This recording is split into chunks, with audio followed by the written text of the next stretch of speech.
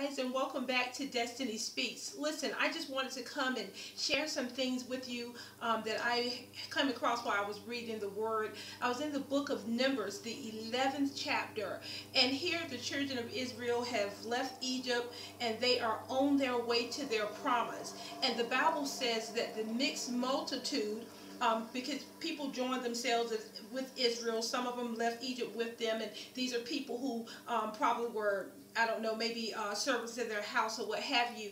But um, as they were traveling on their way to the promise, God, the Bible says that the mixed multitude began to complain. Amen. The mixed multitude began to complain, and the children of Israel heard them, and so they too began to complain. And they were saying, you know what?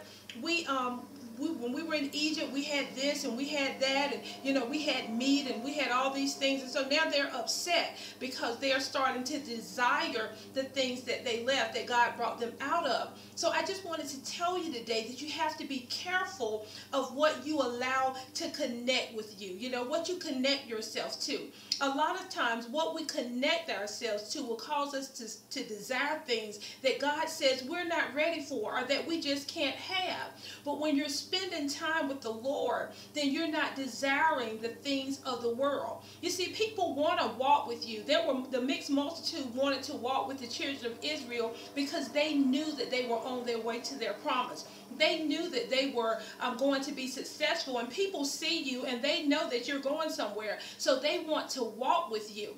But God the promise is not for them. The promise is for you. So you have to be careful that they don't influence you. You're not influenced by the world. We influence the world. We're supposed to influence the world. So don't get caught up in what's going on with the world. You know, that in the um, in this chapter, the book of Numbers, 11th chapter, the Lord had been providing for the children of Israel. He was giving them everything they needed every morning he was raining down manna. So they had food to eat. They didn't have anything to worry about. Sort of like you you know? The lord is providing for you. You have what you need in your life. But you're looking at the world because you're spending so much time in the world with the things of the world. You're now looking at the world and you're desiring those things. You know you walk for for example you walk out of your house in the morning and the sun is shining or maybe it's raining but it's okay because you have life health and strength in your body you've got a job to go to, your family's okay. But maybe along your way you meet somebody who, you know, starts walking the same direction that you're walking in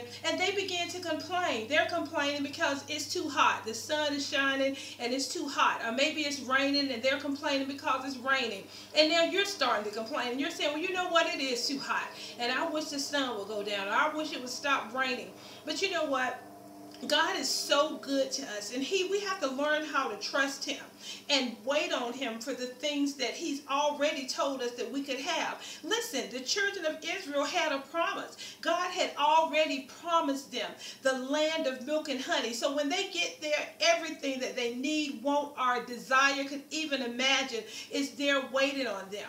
But they were not trusting in God. They were listening to what those around them were saying, and now they're starting to desire things that God said they're not ready for. And the Bible says that the anger of the Lord was greatly kindled against them because God wants us to trust him. He had done so many things. He brought them out of Egypt. He was giving them food. They didn't have to work for it. And yet and still, they're still desiring the things of the world. And we don't want to be like that. We don't want, God has brought us out of some things and we are now looking around at all these wonderful blessings that God has given us and we're desiring what it is that he brought us out of or we're wanting something he's, that he's saying we're not ready for yet. We have to learn to trust him. Listen, when he brought the children of Israel out of Egypt, the Bible says that he took them the long way. He didn't take them. There was a shorter route that they could have gone. They could have gone through the land of Gad. But the Bible says this was the land of the Philistines and God knew that they were going to have to fight when they came out of Egypt. So he said he didn't want them to go through Egypt because they would have had to fight and it might have caused them to turn around. God knows what you're ready for. That wilderness experience is just your time of preparation. You're going to still have to fight sometime, but he wanted to prepare the children of Israel for what they were going to face. So the fact that he was not giving them meat, they weren't ready for it. Or he wasn't, it wasn't their time to have it. But because because they were complaining and not trusting to trusting God, guess what? He gave it to them. So you you want to be careful that you're not that, that just because you've God has given you something that you've asked for does not mean that he's pleased with you. It means that he knows you don't trust him and you're complaining. So he went ahead and gave it to them. But the Bible says that he raised the quail was there for them and while it was yet in their mouth while they were yet eating it the lord you know began to kill them off so we just want to be sure that we are walking with the lord that we're desiring the things that he desires for us listen i don't want anything in my life that God doesn't want for me or that I'm not ready for yet. There may be some things that I'm desiring and God is saying, wait a minute, daughter, you're not ready for that yet. Or I have something so much better for you. Just wait for me. So I don't want, that's my prayer. I don't want anything that God doesn't want for me. Okay, so I just wanted to share that with you today. Maybe you're in a situation where you're looking around and it looks like something's happening over here and nothing's happening for you. Or maybe you're desiring some things. Maybe you're single like I am and you're desiring a husband. But listen, wait on the Lord. Be of good courage and he will strengthen your heart. God has something so special for you. Don't start complaining and start saying, well, you know, when I was dating this person or when I was wasn't in the world before I got saved, I used to do this and I used to do that and start missing those things because you're on your way to your promise. You're on your way to what it is that God said that you can have. And I promise you that what it is that God has prepared for you and it's already prepared. He's trying to get you to that place.